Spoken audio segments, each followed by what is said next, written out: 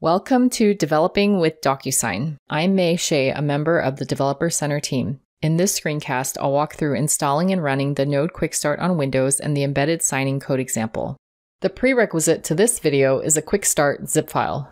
If you haven't yet downloaded your Node Quick Start, please first follow the steps in the Quick Start overview page or the How to Download Quick Start video. Quick Start is a software wizard that packages a personalized code example launcher. You can choose from eight programming languages. The Quick Start wizard configures an app in the developer's DocuSign account that can make API calls. These steps are completed for the developer. The launcher is downloaded from GitHub as a zip file. An integration key is created in the developer's account. A secret key is created to enable authorization code grant. An RSA key pair is created to enable JWT grant.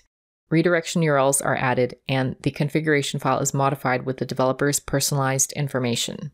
To run the Node Quick Start Launcher, I must have the Node prerequisite software installed. This list of prerequisites can be found in the README on our GitHub page at github.com slash docusign slash code dash examples dash node. This README is also included in the Quick Start zip file.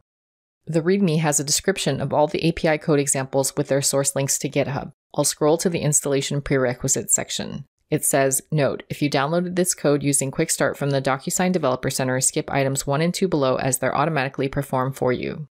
The node prerequisite is step 3 because Quick Start takes care of step 4 by pre-populating my developer account information, which I'll show later. In order to install and run the Node launcher, I'll need Node.js version 8.10 or later with NPM version 5 or later. I can follow the link to download the application. I'll scroll to the installation steps in the README. It says, Note, if you downloaded this code using Quick Start from the DocuSign Developer Center, skip step 4 below as it was automatically performed for you. Next, it says 1. Unzip the Quick Start file or download or clone the code examples node repository. The Quick Start automatically downloads into my downloads folder. I'll unzip my Quick Start zip file into my c colon slash user slash may.shea slash source folder. I'm in my unzipped quick start folder c colon slash user slash may.shea slash source slash tally underscore customer underscore portal dash node.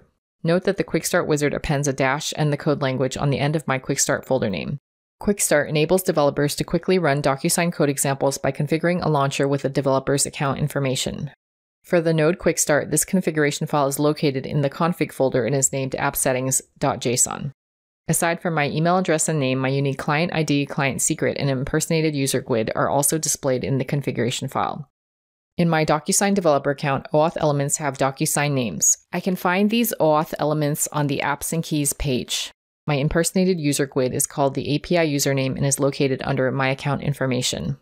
Also, my client ID is called the integration key and can be found under apps and integration keys next to my app name, tally underscore customer underscore portal.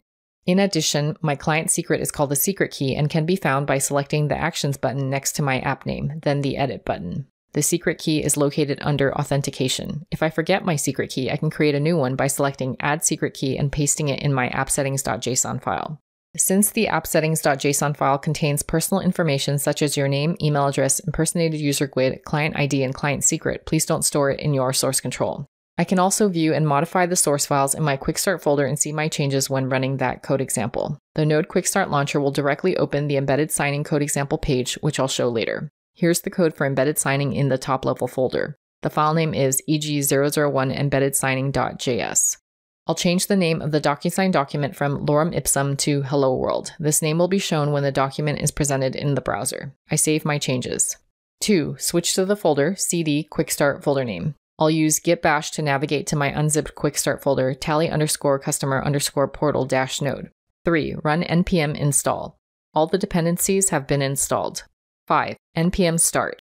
The node launcher runs. 6. Open a browser to http colon slash slash localhost colon 5000.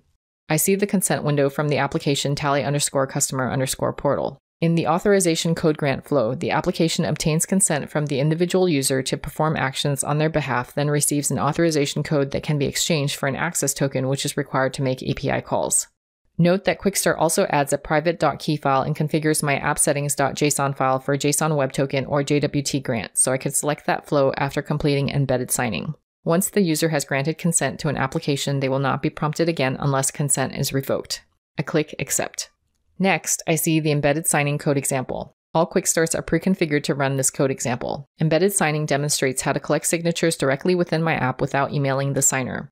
Also linked are the API methods used. Envelopes create and envelope views create recipient. The links will take me to the Developer Center pages that describe those methods.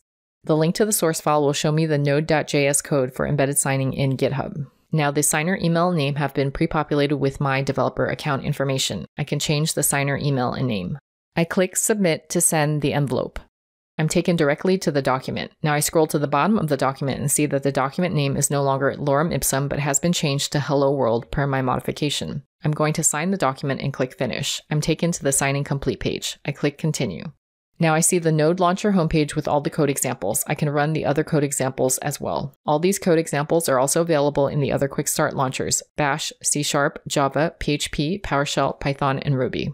If you have any questions about how to develop your integration with DocuSign, here are some resources. I recommend checking out the Developer Center how to guides, going to Stack Overflow, reaching out to support, or signing up for API office hours.